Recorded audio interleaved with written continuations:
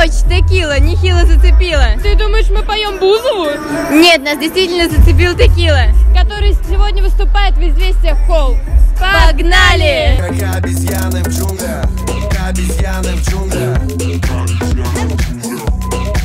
Скажи, пожалуйста, как тебе атмосфера? Атмосфера очень шикарная, очень уютная и можно повеселиться. Ну, атмосфера очень крутая, потому что у Сани Текилы песни все как праздник. А, Каждая песня заряжает, мне очень нравится. Более того, а, наш лейбл, Clever Label, соучредителем которого я являюсь, издает множество его песен, поэтому я счастлив. Мы пришли с отличным настроением. У моей подруги сегодня день рождения. Вот ей исполняется 19 лет, она решила провести его здесь. Бомбическая, все очень веселые, резвые, активные и готовы просто веселиться, взрываться. Это просто невероятно. Очень классно. Отлично, просто можно? Отлично, прям четко. Мы отвисаем, как обезьяны в джунглях. Расскажите, под какое настроение вы любите слушать текилу? Под такое заводное, когда у тебя прям вот все хорошо в жизни, и нужно обязательно включить его треки, чтобы было еще лучше. А я на отдыхе, хорошо на море зашло, прям атмосферно, на пляже. Вот хорошее, романтичное. У него же много жанров. Когда грущу, включаю текилу. Когда веселюсь, включаю текилу. В джунглях.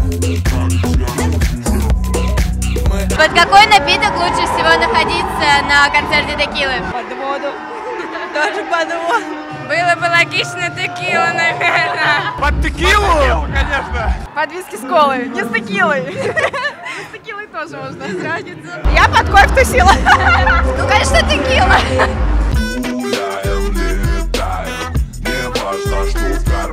С кем бы ты хотел услышать будущие фиты текилы?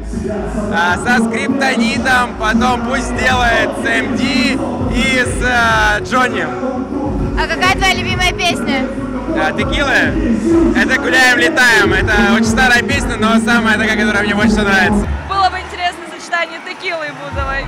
При- Тем более, что здесь Мне был... кажется, сольно ему хорошо петь. Сегодня буду пьяным, и это нормально. Гуляем, летаем. Скажи, пожалуйста, как часто твоя мама не знала, что ты на тусе до утра? Я никогда не ходила на тусовки, когда жила с родителями, поэтому мама всегда знала, где я.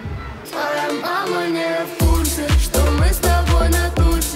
сольный концерт был ровно год назад. Расскажи, э, какие ощущения тогда были и какие сейчас? Сравни. Тогда я очень сильно переживал, тогда у меня были э, в личном плане тоже какие-то непонятные такие моменты, я не понимал, куда мне двигаться в плане творчества.